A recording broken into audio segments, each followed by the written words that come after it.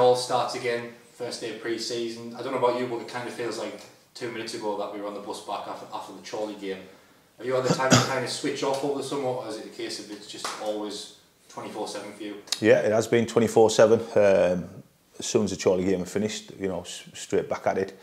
Speaking to our players first, which is important, and, and then obviously identifying targets that we, we felt would, would enhance the squad, which we, which we hopefully have done.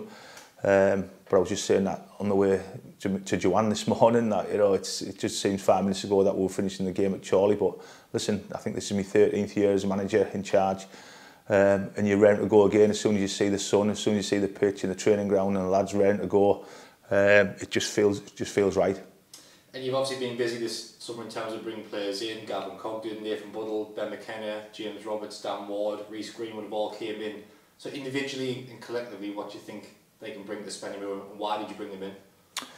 Well, a number of reasons. Obviously, we've let a couple of lads go. We've let the two centre halves go. We've let a wide player go. Um, you know, I think I think in games we, we you know we did ever, ever so well last year. Um, but my my motto is, and I think every everyone who, who I've spoken to as a, as a manager, I respect in the game is you never stand still. Um, and each year you've got to go again. Um, you know, no, no matter how well you've done, there's always ways and, and, and things that you can improve on. Um, and I think the ball retention last year, we, you know, we, we worked ever so hard for every game and every point that we deserved. We, we, we had to re work really hard. We scored a lot of goals, but in the second half of the season, I just felt we didn't, you know, we didn't create as many chances as, as, as we probably should have, um, you know, for the quality that we had. And, and hopefully the, the, the, the forward thinking players that we've brought in will, will, add, will add to, the, to the group, you know, because I think we, we relied too heavily on Glenn last year. Um, you know, he's a massive player for us, but you know, he'd take his goals away, and, and I think then Spark, he was was up there, in AJ again. Um, but we need we need others to chip in, uh, and, and, and hopefully the lads that we've brought in can, can do that. And you mentioned there that the attacking players, Cogden, McKenna, Roberts, Greenwood, they're all offensive. And with the likes of Ryan Hall, Andrew Johnson, Mark Anderson, Adam Boys and of course Glenn Taylor, can we kind of expect a, an emphasis on attack this season? Will there be kind of a, a shift in mentality? Um, and, and will that kind of lead to maybe a change in formation?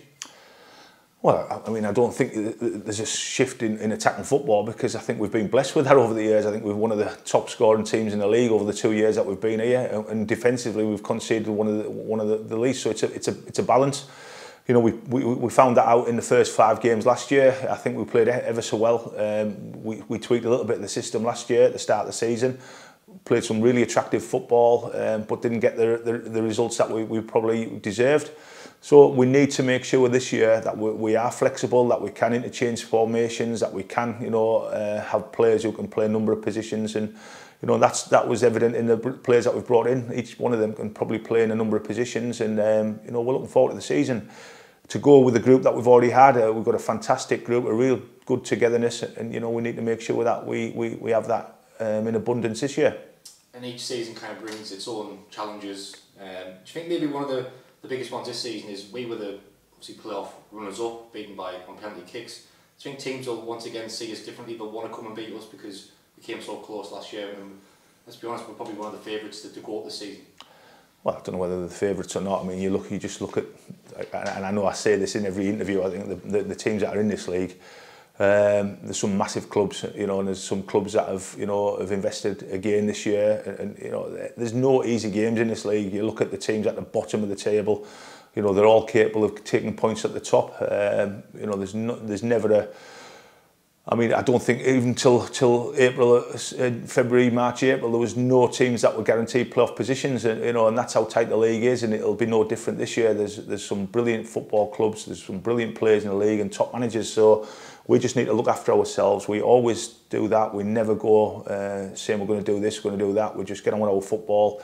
Um, and take each game as it comes, but we've got to make sure that we're, we're in and around again this year because, like I said, the chairman's invested again, like he always does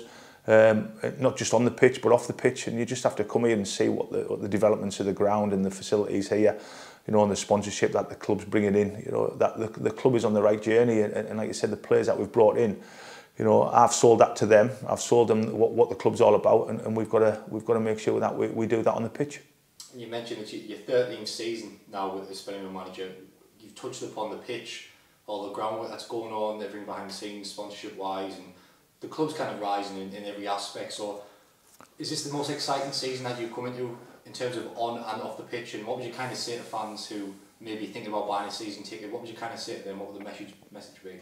Well, I think it's evident that the, the club's you know on a massive upward trajectory. Um, and, and I think we have we have um, brought in some new new support um, and, and I think that's evident from the season ticket sales uh, early doors this year you know, what, what I can promise is a bunch of hard-working lads who, who will give everything for the shirt. You know, there's no one that will, will, will shirk that. You know, a management team that'll give everything. You know, I've got, I'm blessed with a, a really good group of, of Midge, Tommy, Oti and Baz. Um, with a real together group, you know, it's a community spirit, uh, uh, so it's a community club and we want everybody from the community to, to, to really, you know, want to be a part of more Um, I work in South Shields and I see some South Shields shirts around the school when it's non-uniform day and hopefully the younger lads and the younger girls of Spennymoor will, will, will take pride in wearing a Spennymoor shirt because I think you know, the, the club, uh, what it's achieved over the over the years that that, that, that have been involved and, and to see where it's you know where it's led to now it's um, it's a fantastic club to be involved in and, and one that you're proud to say you're part of and I just want all the supporters to know that you know when if they buy the season ticket and I hope they do that they will see you know a, a real tough league and, and one where the players will play their hearts out and, and give everything for the shirt.